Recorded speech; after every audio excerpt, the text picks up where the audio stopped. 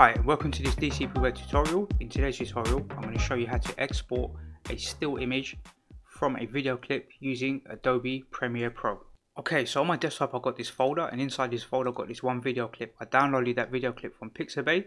I'll put a link to that in the YouTube description. Let's open up Premiere and drag and drop the video clip onto the timeline. That will also import it into the media pool here.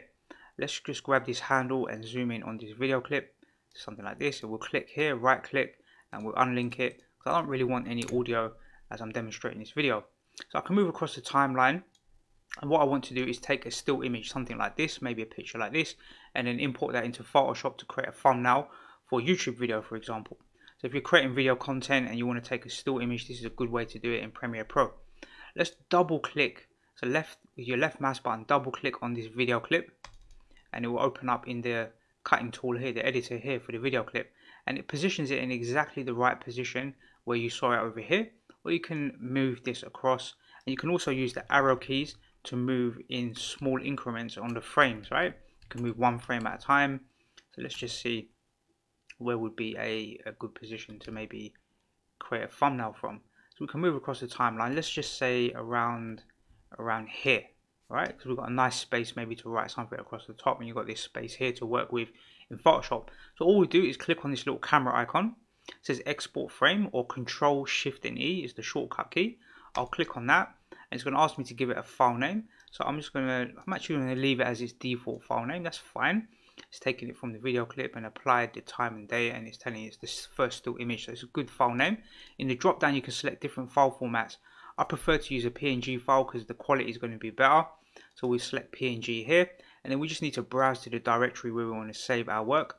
I'm going to save it in the same directory that's on the actual um, on the actual desktop and then we can click this option.